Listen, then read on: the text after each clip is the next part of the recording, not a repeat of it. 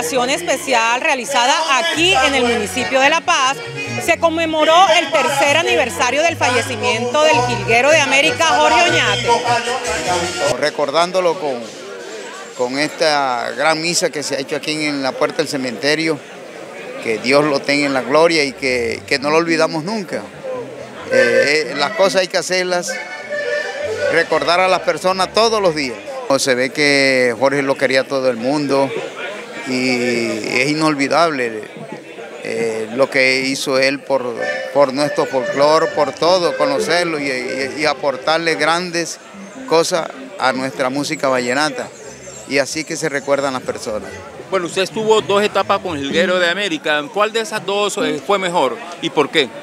En Toitas en la primera fenomenal, estupendo, dándole gracias a Dios que en esa primera me di a conocer con él y, grabamos mucho éxito.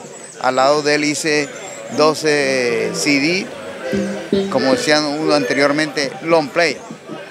Pero bueno, pues eso fue una etapa de oro, una etapa que, que el público lo recibió. Gané muchos premios con él y sobre todo dándole gracias a Dios y a él que me di a conocer como músico a nuestro folclore. ¿Qué tiene que decirle a esas, jóvenes figuras del canto vallenato para que sigan ese legado del video de América?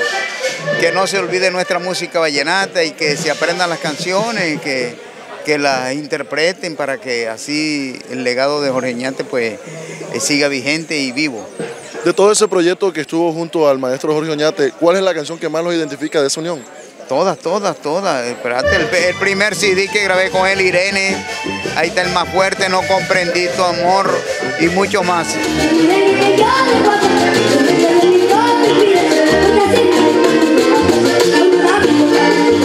Gracias a Dios el cariño que le demuestra a su gente, sus seguidores, sus familiares y sus amigos cada año es mayor. Gracias a Dios contamos con la bendición de que la gente cada, cada año que pasa lo añora y lo desea tener más. El día de hoy, ¿con qué música recuerdas a tu padre?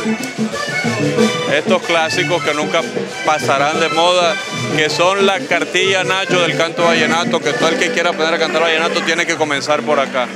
¿Siempre sentiste el apoyo de él en tu proyecto musical? Sí, claro, él siempre nos apoyó y siempre tuvo el deseo de que nosotros, sus hijos, siguiéramos su, camino, sus pasos en el canto vallenato. En estos momentos nosotros nos encontramos preparando el primer álbum musical al lado del rey vallenato Javier Mata, que es un producto que queremos entregarle con todo el amor del mundo eh, a mediados de este año y lógicamente partiendo del estilo vallenato de Jorge Oñate. Hay muchos oñatistas en el mundo, ¿verdad? ¿Qué mensaje quiere dar este, a todas esas personas que han sentido, que han dado el apoyo a, tu padre? Gracias a Dios he tenido la posibilidad de salir del país en varias ocasiones y corroborar que lo que tú me estás diciendo es cierto. El oñatismo es muy grande y tiene muchos seguidores eh, alrededor de todo el mundo. A todos quiero darles las gracias porque sin ellos no sería posible mantener viva la memoria de Jorge Oñate.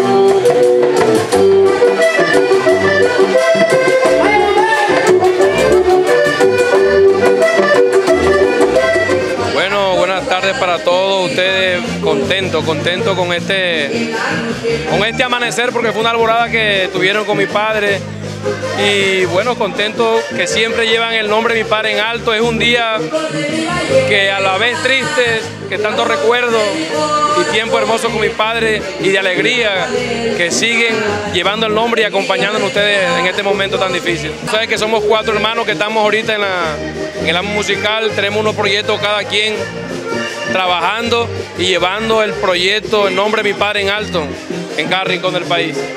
Después de, todo esto, hoy 28 de febrero, ¿cuál es la canción que más te recuerda a tu padre?